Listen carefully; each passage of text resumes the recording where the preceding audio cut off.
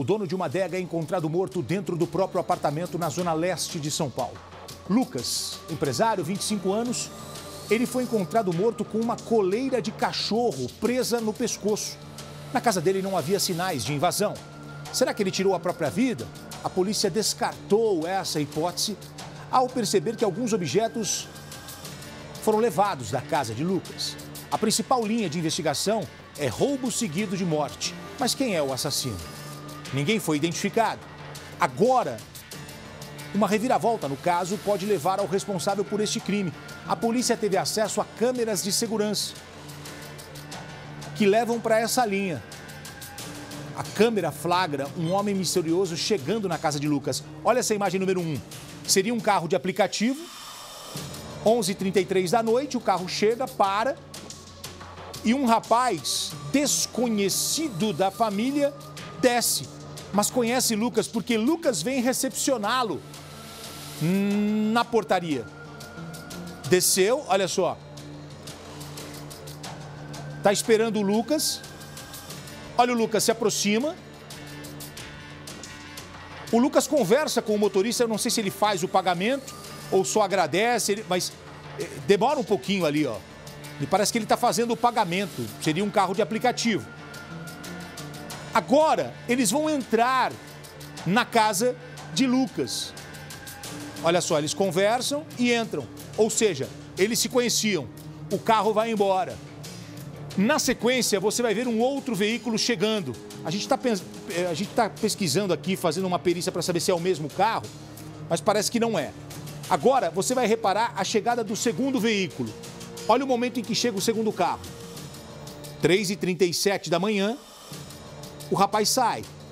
O porta-malas abre, mas ele não usa o porta-malas, ele usa a porta de trás aberta para colocar a televisão. Ou seja, é o homem que está levando os objetos. Para a polícia, nessa altura do campeonato, Lucas já está morto. Quem é este homem? Zona Leste de São Paulo. O homem sai com os objetos de valor da casa de Lucas e Lucas é encontrado morto com uma coleira de cachorro amarrada no pescoço. Para a polícia, este homem é o principal suspeito de ter matado Lucas. Tem uma reportagem inédita, balança. Lucas tinha grandes planos para o futuro. Por isso saiu do interior da Bahia ainda adolescente. Aqui em São Paulo ele foi em busca de estudo e trabalho. Com o tempo ele juntou dinheiro e conseguiu abrir um pequeno negócio, uma distribuidora de bebidas. Mas dez anos depois de chegar na capital paulista, os planos foram interrompidos de forma trágica. Eu só queria saber por quê. Porque meu filho era uma pessoa trabalhador, tinha sonhos de ter algo na vida dele, conseguir as coisas dele na honestidade. E eu não sei por que foi feito isso. Lucas morava no segundo andar deste prédio, sozinho. Mas ele costumava se comunicar com os parentes todos os dias ele mandava mensagens em um grupo que a família tinha no aplicativo de mensagens. Naquele dia, todos estranharam que ele não mandou um bom dia. Já de tarde, um fornecedor veio entregar uma encomenda aqui na adega dele, que fica bem embaixo onde ele morava. Foi aí que todos tiveram a certeza. Uma tia então resolveu vir até o apartamento de Lucas. Foi ela que o encontrou já sem vida. A minha mãe ligou pro dono da casa e conseguiu conseguiu, é, conseguiu arrombar a porta e aí encontrou ele de lá dentro. Aí nisso que encontrou ele, a cachorra já veio em direção à porta, minha prima entrou correndo e tocou no pé dele e viu que ele já estava gelado, coberto, pelado assim. O corpo de Lucas estava no quarto, em cima da cama. Ele tinha uma coleira de cachorro no pescoço. Lucas morreu por sufocamento. A coleira usada é da Belinha, cachorra de estimação que morava com ele. A primeira suspeita da polícia era de que Lucas tinha tirado a própria vida. A casa não tinha sinais de invasão, mas algo chamou a atenção da família. Alguns objetos do apartamento tinham sumido, entre eles uma televisão. Logo, o caso passou a ser tratado como latrocínio, o roubo seguido de morte. E ninguém esperava um crime bárbaro desse, né? Ninguém, ninguém está preparado receber um, uma coisa dessa. Mas como o assassino entrou na casa de Lucas? A reviravolta no caso aconteceu depois que a família encontrou essas imagens de câmeras de segurança. O relógio marca 11h33 da noite. Repare no veículo parado, possivelmente um carro de aplicativo. Um homem desembarca. Lucas aparece e vai recepcioná-lo. Em seguida, ele conversa com o motorista do carro. Parece pagar pela corrida. Momentos depois, Lucas e o desconhecido entram no prédio. Quatro horas depois, outro carro estaciona na rua do prédio de Lucas. O desconhecido que entrou com Lucas aparece.